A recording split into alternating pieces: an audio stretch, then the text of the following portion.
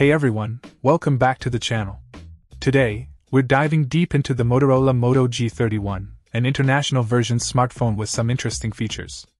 Now, right off the bat, it's important to note that this device is GSM only, so if you're on Verizon, Sprint, or US Cellular, unfortunately, this won't be compatible. Now, let's talk about the design.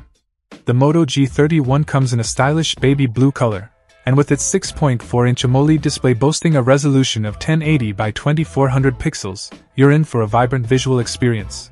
Under the hood, it's powered by a 2.0 GHz octa-core processor, the MediaTek Helio G85, coupled with 4 GB of RAM.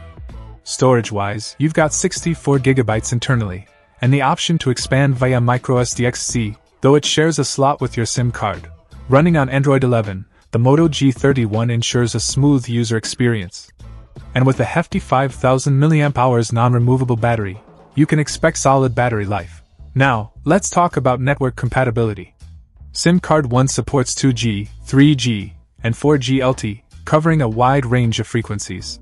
SIM card 2 follows suit, making this a dual SIM device with global connectivity. Before you hit that buy button, make sure to check with your network provider for compatibility. Overall, the Moto G31 packs quite a punch for its price, but it's crucial to ensure it aligns with your carrier. That's it for today's review. If you found this helpful, don't forget to hit the like button and subscribe for more tech insights. Until next time, this is your channel name, signing off. Check out the video description for updated price. And thank you for watching this video.